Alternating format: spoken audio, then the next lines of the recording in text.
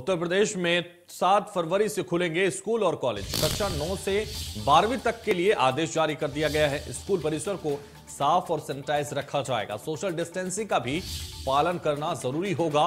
स्कूलों में ऐसे कार्यक्रम नहीं होंगे जिसमें भीड़ जुटे। मास्क पहनना और फेस कवर करना अनिवार्य होगा। हॉस्टल वाले स्कूलों में दो बेड्स के बीच उचित दूरी रखनी होगी।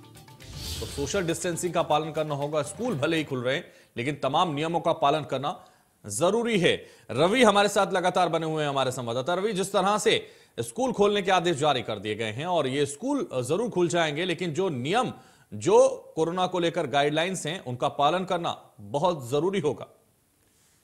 देखिए कोरोना गाइडलाइन का पालन करना होगा, सभी को मास्क लगाना अनिवार्य होगा हालाँकि नौवीं से बारहवीं तक के जो स्कूलों खोलने के जो आदेश हैं, वो आज से जारी हो गए हैं और उसके अलावा डिग्री कॉलेज है, वो खुलेंगे। यानी कि जो सभी कोरोना प्रोटोकॉल है उसका पालन करना होगा, जो भी लोग स्कूलों में आएँगे, उनको मास्क लगाना अनिवार्य हो और सभी प्रोटोकॉल का पालन करते हुए जो पढ़ाई है नौवीं से बारहवीं तक की उसके अलावा डिग्री कॉलेज की पढ़ाई है, वो आज से शुरू हो रही है। बिल्कुल, नवीं से बारहवीं तक की जो पढ़ाई है, वो आज से शुरू हो रही है। आज से कॉलेज खुल रहे हैं, लेकिन जिस तरीके से आज से ये खुलने वाले कॉलेजों को लेकर जो कोरोना की गाइडलाइन है उनकी पालना करना अनिवार्य कर दिया गया है।